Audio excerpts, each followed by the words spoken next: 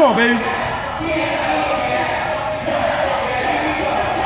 Come on. I did try it earlier, bro. Try it this way. I just try to keep that Joneses.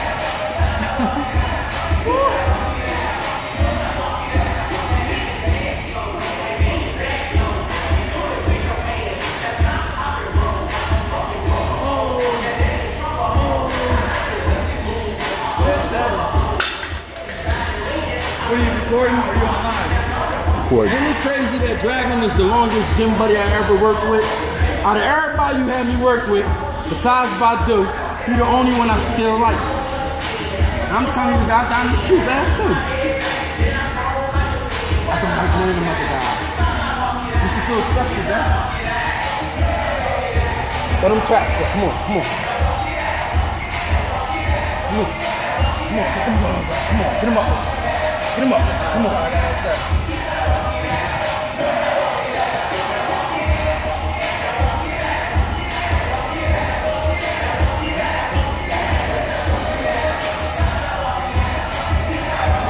Song back in the gym.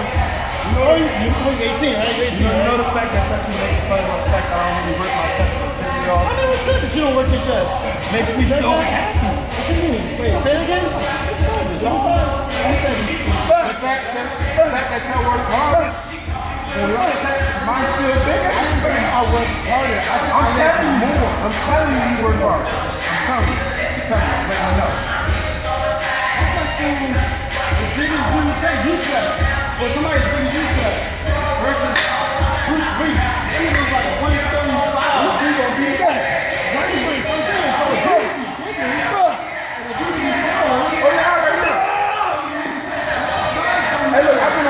Vamos fazer.